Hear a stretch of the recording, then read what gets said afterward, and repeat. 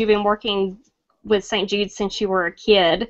So how did you get started doing that at that young of an age? My parents, my mom. You know, mm-hmm. my mom always gave a portion of my earnings to St. Jude. Mm-hmm. She loved Danny Thomas. She loved the, the, the charity, and really felt like you have to give back when you're get, when you're given gifts, wow. you give back, and and so always gave a portion of my earnings to the hospital. Mm-hmm. And then when I went back to the show in '93, I I had gone through an epiphany in my life where I was like, okay, if I can, if I'm on a show again where I have exposure, I want to mm-hmm. raise money for the hospital, and I started doing my event every year, and got more involved and more involved, more involved, and then they invited me to be part of the, the advisory team, and you know, when you're sitting with the CEO of Chili's and, and Domino's and you're sitting at a table with the people, the biggest advertising, you know, biggest companies in the world, and your opinion means something and it makes a difference and you're raising, you know, you're helping raise seven hundred million dollars a year and your your your opinion matters and mm-hmm. it makes a difference. Then you can sleep at night. Like to me, to have to even have the opportunity to have your voice heard in a room like that, and actually people turn to you and, and, and respect what you have to say is uh, wonderful because being one of the youngest people on the advisory board and being a woman, there's not that many. There are not that many women on the on the advisory board. Mostly the CEOs and et cetera are men. Um, some aren't. We have a handful that are other, you know, that are not. But it's um, it makes you feel good. It makes you feel like you you know you have something to say. And coming from a world of daytime and and dealing with fans and dealing with I know what an audience wants. I know what the consumer wants. They didn't right. always listen to me, but the bottom line is I do know, and so I, I feel like I can do more in that arena. Um, I'd like to have. A, I think once my kids get older, I'll have a bigger role. Hopefully. I say company because it is a, it is a huge company, St. Jude. Mm-hmm. But I love it there. I love the people there. I love going there. I love the. It makes you. You can't be angry. You can't be. You can't be upset about anything when you go there because we are we have what these kids go through and what the, what the hospital does and what they what one man what Danny Thomas did is so incredible. It it really brings you back down to earth. You know, really makes you understand that one man can make a difference and one person one person anybody can make a difference if they if they they stuck to it and and Danny Thomas being from a entertainment background, uh, he knew how to work it.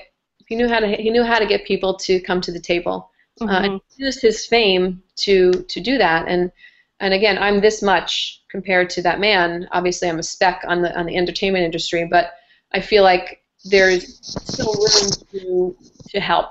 So yeah. yeah. But thank God my parents did that. I think it's important for for you know, it was subconscious when I was a kid, but it stuck with me. It stuck right. It was important to give back um, financially, emotionally, volunteering, you know, whatever it is, to, to, to thank thank God, thank parents for, for right. what they've done. Yeah, well, it's definitely a, a, worthy cause. And something else that you were involved in is uh, CASA. So, do you want to talk about that? Yes, I, you know, Bergen County CASA, which is helps advocacy, it's an advocacy for children in foster care, where you know, we hear all these stories about there's there are too many cases, there's too many things for the for the child protective services to handle. And, and CASA, what they do is they take a volunteer, they train them, and they're given one case to look over, meaning mm-hmm. they are that child's advocate. They are that child's person to go to in case of a problem. Mm-hmm. Um, and they as a, I always want, I wanted to volunteer and become a CASA. You know, again, put that on my list of things to do. But it really is something I want to be more involved in the foster care system and ch- child abuse. And and I was I had talk, thought about going, um, being a part of missing and exploited children. And I I, I just I, I couldn't do it. I I I, I still want to help. Maybe when I get older, but having children, and I don't know if I can handle. I have to be realistic and say, what can I handle emotionally?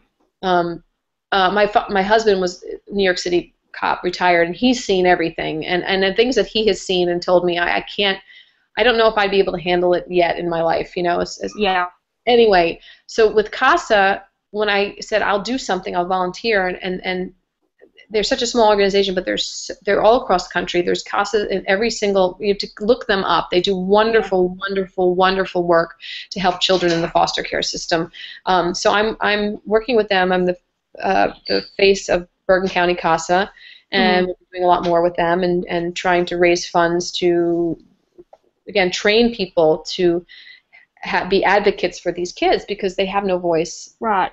uh, No. most of the time.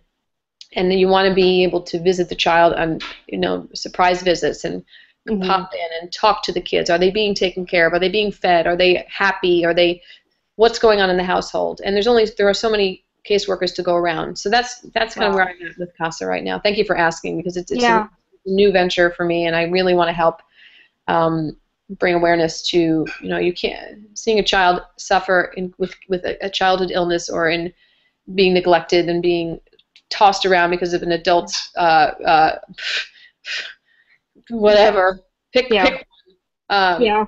children shouldn't suffer because an adult can't figure it out you know Yeah. I just don't And and so many of them get lost in the system. So it's good that there's organizations out there that will hopefully help that. Yeah, that's what CASA does. That's Right. what CASA does. So I'm, I'm, I'm thrilled to be a part of it. And again, I'd like to do more. And I, I'm, once I figure out, uh, I'd, there's no such thing as a schedule in my life at this point. Yeah.